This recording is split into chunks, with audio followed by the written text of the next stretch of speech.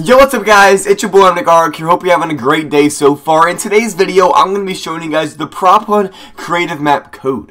So I hope you guys do enjoy this video, but if you actually want me to live stream with subscribers, make sure you drop a like in the video because I want to do that either sometime tonight or tomorrow the day after that. If you want me to live stream with subscribers with you guys, make sure you drop a like in the video. I want to see how many people actually want me to do that, and as well, I want you to let me know your thoughts on this down below in the comments. Have you watched gameplay for the new Prop Hunt game mode yet? Have you watched it? You know what's going on? Are you going to walk in there surprised? Let me know your thoughts on that down below in the comments, and I've already been talking for way too long. Let's just get right into the code.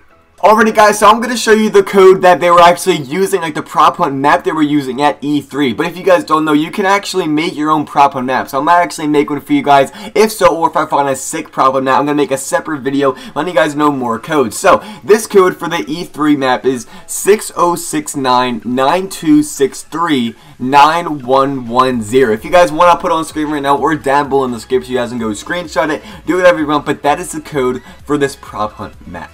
So I'm going to keep this video short, sweet, to the point. I Hope you guys did enjoy. If you want to see me live stream this with subscribers, make sure you drop a like on the video or let me know down below in the comments. And if you haven't, let me know down below in the comments. Make sure you go and do this. Have you watched gameplay of the new Prop Hunt game mode? Do you think it's cool? Do you think it's not cool? Are you going to walk in there surprised? Let me know your thoughts on that down below in the comments. And as well, if you want to stay updated with everything regarding Fortnite news, because there's a ton of new content with this update. I'm telling you guys right now, my notifications are going to be screwed. I'm going to be uploading so much to today and tomorrow. So if you guys want to stay updated with everything regarding that, I'd love to have you on this channel. Make subscribe. And with all that said, I hope you guys have a great rest of your day or night, and I will talk to you guys definitely in a couple hours or in an hour with a brand new upload. I cannot wait, and I'll see you guys there.